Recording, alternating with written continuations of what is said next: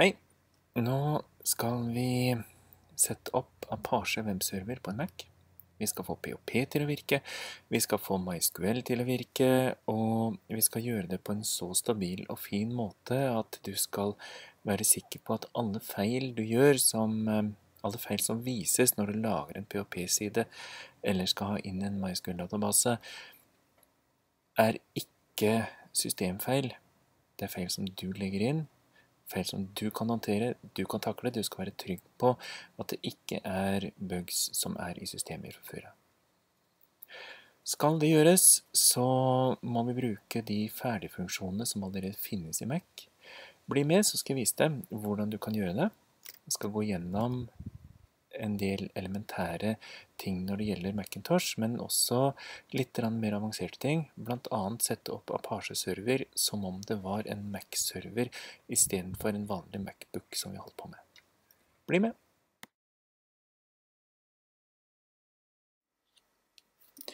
En fin ting med Mac-maskiner, en fin ting med OSX, som Apple har gjort, er det at i versjon Skal vi si I versjon nummer 1083 så finnes Apache webserver og POP nesten ferdig satt opp. Hvis vi ser i Finder på programmer, så vil vi ikke finne noen innstillingsprogram på det. Men det betyr ikke det samme som at det ikke er der. Vi kan rett og slett finne ut hvor det er ved å gå inn i skal vi se, verktøymappa. Åpne opp en terminal. Siden Mac er basert på BSD, og BSD er en form for Unix, så betyr det at den følger, sånn løselig i hvert fall, eh, filsystemsinndelinga som er i Unix. En god ting med det er at alle innstillinger til aller meste ligger i ETC-katalogen. Og det betyr at hvis vi går inn der, så kan vi se at ok, LSAPA stjerne, APA for Apache, vil vise at det, det er filer der. Ta en vanlig LS, så ser jeg at det er ei mappe som heter Apache 2. Det vil si at hvis jeg går inn i sånn, så vil jeg se at her ligger det altså HTTP-konf, som det er innstillingsfiler for Apache. Det ligger også ei users-mappe. Hmm, guest-conf. Ok, vi skal komme inn på den senere. Først HTTP-konf. Vi må sjekke hvordan den er. Da skal vi både sjekke den og redigere den. Den må vi gjøre som rotbruker, administratorbruker. Og det er fordi at det som ligger altså HTTP-konf, der står det at det bare er rotbrukeren, root, som har lese-skrivetilgang. De som tilhører gruppen Wheel, administratorgruppen, har lesetilgang. Gjester kan også lese det som finnes der, men ikke skrive. Derfor sudo for å si at nå skal vi gjøre ting med ekstra rettigheter. Vim, som er tekstprogrammet vi bruker, og navnet på fila.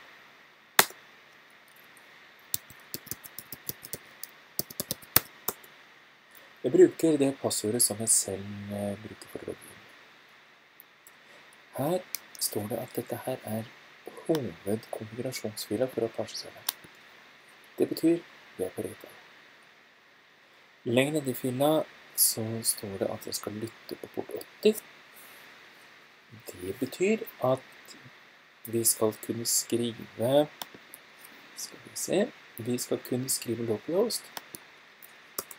Og noe skal skje. Det som skjer nå, er at Safari kan ikke koble tjeneren. Altså, det skjer ingenting. Men noe skal skje. Jeg skal vise. Bli med. Vi kan se videre med om det finnes noe om PHP. Her finnes det noe som heter load-modul. Legg inn modul, gi funksjonalitet om PHP5. Den er der, men den er kommentert ut. Før vi ser videre på Jeg skal provosere fram hva som, hva som skjer når hun er kommentert En par andre viktige ting som står her, det er at det er brukeren underscore www og gruppen underscore www som det kjøres av. Og det vil si at hvis du skal ha Hvis du skal ha mulighet til å skrive inn ting direkte til Apache-serveren, så må man ha skriverettigheter til den der mappa. Kan kan vise det. Vi har åpnet opp et nytt vindu, og så gå inn i mappa.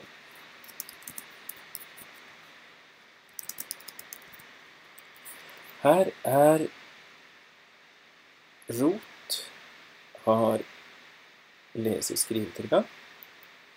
Wheel, som da er av gruppen, har lesetilgang. Gjester kan bare lese, gjester kan ikke skrive. Det betyr at den er satt opp noenlunde rimelig sikkert og greit. Det finnes en indeks i engelsk utgave som skriver it works. Og det er det som finnes i appen. Det betyr at her er altså alt vi trenger for å sjekke om det virker eller ikke.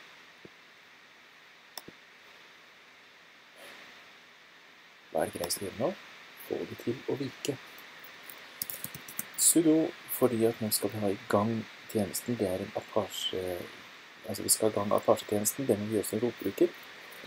Apache CTL er Apache sitt system for å få alt i gang hvis alt er 100% korrekt og skikkelig oppsatt. Og det betyr at siden vi kjører Mac, og dette her er fra Apple, så er sjansen stor for at det er satt opp riktig. Da kan vi si at vi skal starte tjenesten. Gå til vinduet, trykk på command R for å få reload.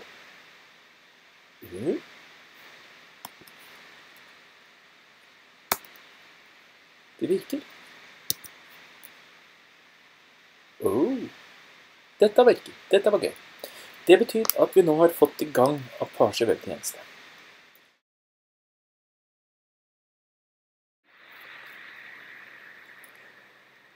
Skal vi kunne få lest og skrevet direkte til en mappe og få vist innholdet helt korrekt og nøyaktig på samme måten som vi gjør det her, uten å måtte åpne opp for at det skal skrives eller redigeres noe som helst av brukerrettigheter, og dermed at vi skal endre sikkerheten på Mac-en, så finnes det en grei måte å gjøre det på. Apache har gjort en jobb for oss. Hvis jeg går tilbake til etc-apache 2-mappa og ser hva som er i httpd-conf. Sånn. Cut betyr rett og slett bare kjøre ut alt som ligger i fila. Der står det noe som heter user home directories. Den skal inkludere oppsettet som finnes i private etc, Apache 2 ekstra, HTPD user.conf. Ok. Vi kan gå dit. Altså, det skal finnes en ekstra mappe,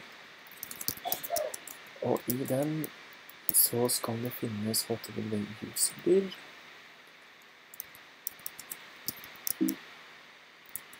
Sånn.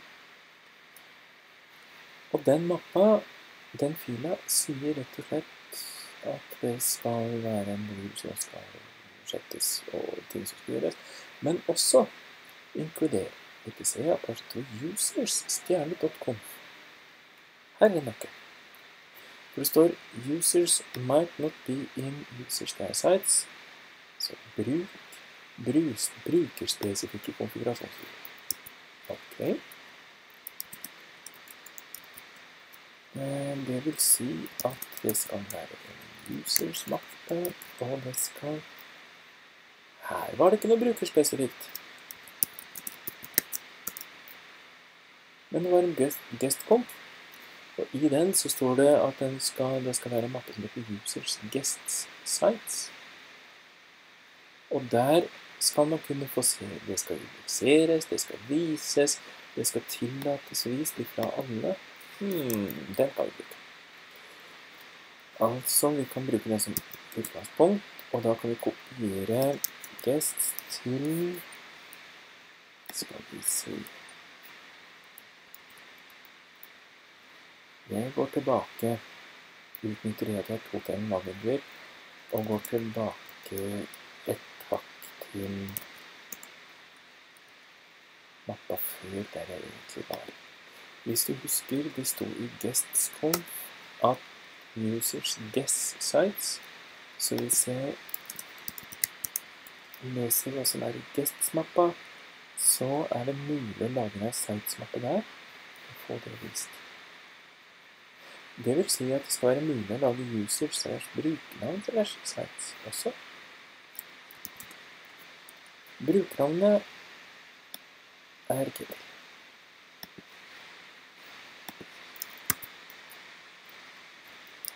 Skal vi få det riktig, så må jeg da kopiere guests til tittel. Punktum cnf. Ok.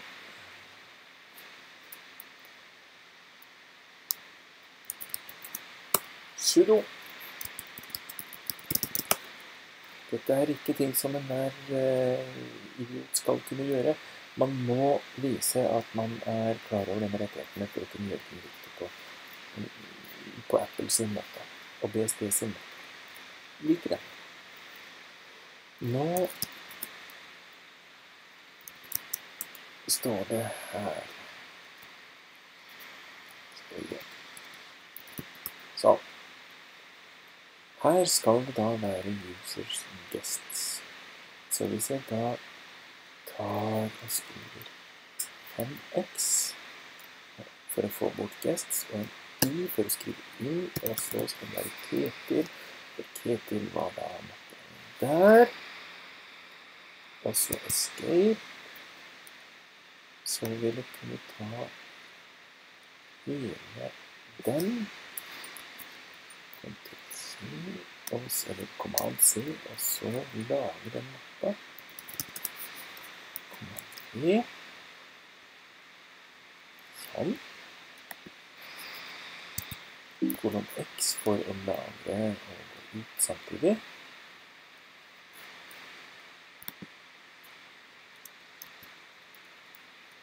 Da vil jeg ha utworks her. Jeg vil ha Nå skal jeg gjøre noe feil for å vise hvor, hvor, hvordan ting kan være. Her får det da, går det da inn i en tøddel Ketil-mappe. Um, er da der.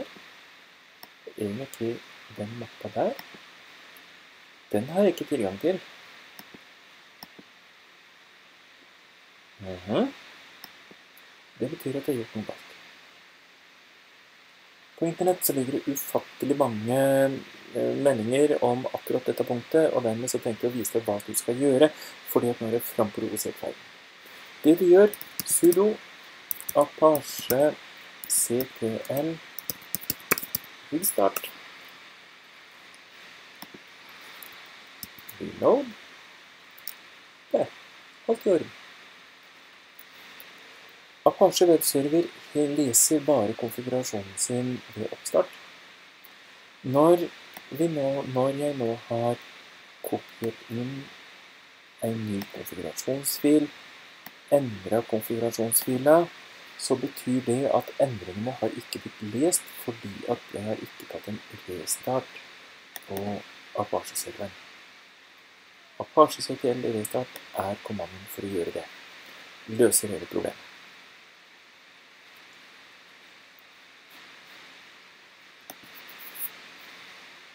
Neste blir rett og slett å lage ei fil. Ut av og ut av. Vi skal lage eh, innhold som skal vises. Og da må jeg inn i mappa. Men jeg har ikke noe sted å inn i mappa. For å få løst problemet, gå inn i valg på Finder, se ifra, så du har mulighet til å vise harddisken. Elegant måte Mac har gjort for å få dette her riktig på. Mac er brukervennlig. Eh, Sånn, dette er det du får. Du får da bibliotek, brukere, programmer og system. Jeg Det var bare for å vise. Um, bibliotek er da library. Brukere er users. Programmer er Bing. System er noe annet. Har ingenting med det vi skal videre gjøre. Det vi skal nå, er konsentrere oss om det som gir bruk. For der er det delt og gestiketter. Altså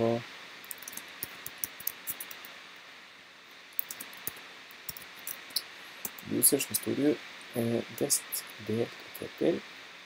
Gest, delt, ketter. Ja. Her ligger site-mappa.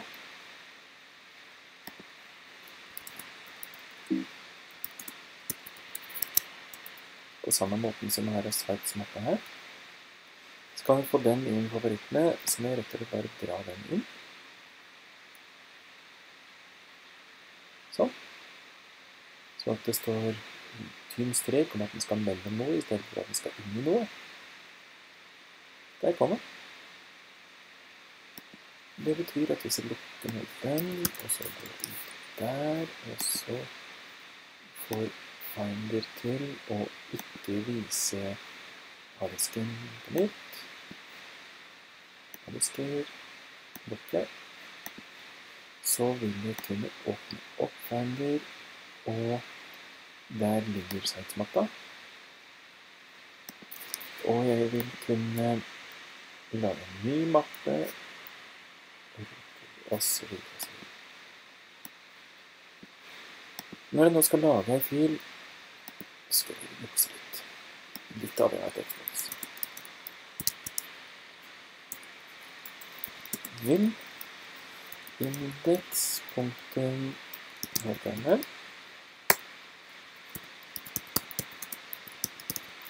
Dette uker.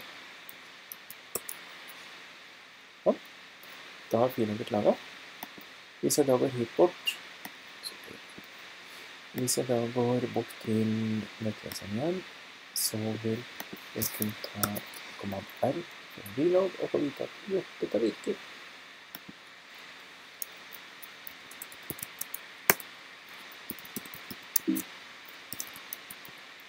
Hvis jeg sletter MXHTML og lagrer MXP-fil, siden vi ikke har lagret den ennå, så blir den ikke der. Hvis jeg tar reload, så får jeg bare beskjed om at Oi, dette er øl. I, og så får vi si at det er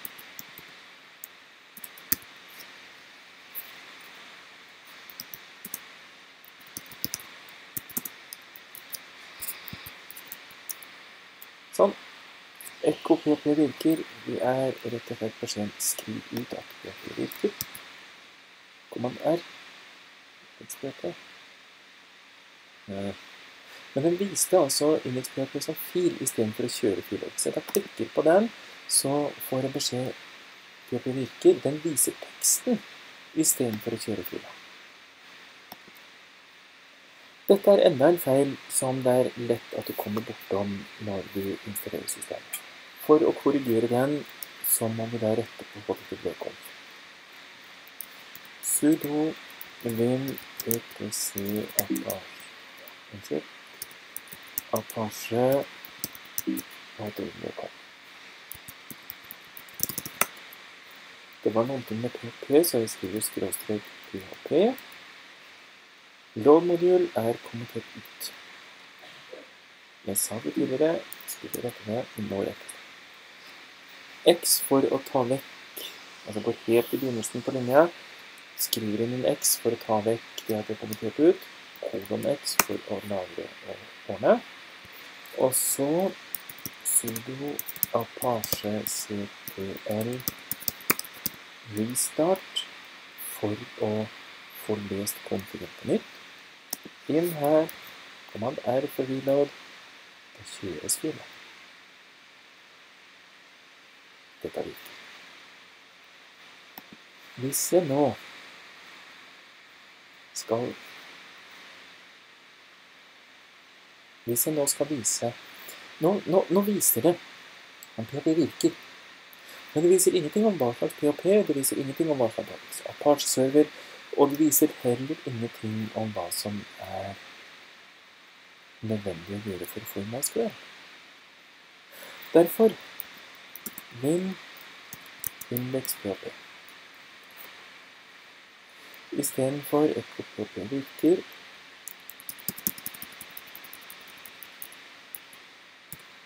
PHP-info. Sånn. PHP-info er, hvis du ikke vet fra før av, en veldig fin og helt grei kommando for å vise for å få PHP til å vise informasjon om hvordan jeg er satt opp.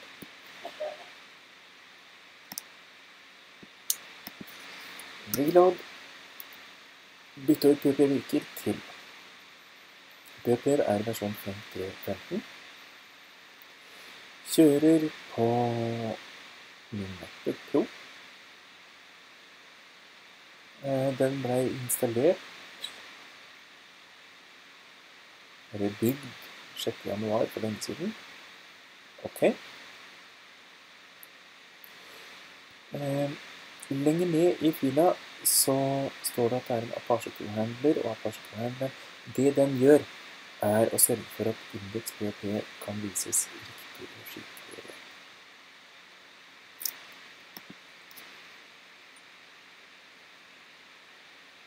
Lenger ned i fila så står det veldig mange detaljer og ting på som ikke trenger å finnes om seg akkurat nå. Nå skal vi se heller på MySQL. PHP har ferdig alt som skal til for å koble seg opp mot en MySQL-database, som standard i Apple sitt grunnleggende ferdigoppsett. Den har også MySQL for å virkelig komme seg opp til ferdig. Altså, den har MySQL snakke-skrive, den har MySQL i snakke-skrive på en utvidet måte, improved MySQL, eh, som da er programmert opp imot versjon 5.08. Og det betyr at de har gjort det som skal til for at vi skal kunne få inn hvilken som helst MySQL-database utgave 5. Og den er viktig fordi det var i utgave 5 at eller 508, 5.1 og rundt der at eh, det kom triggere, det kom lagra prosedyrer, det kom veldig mye annet gøy som er veldig greit å bruke når man skal lage database på fin måte. Neste trinn er dermed å få MySQL inn korrekt, og få alt til å snakke sammen på korrekt måte. Følg med.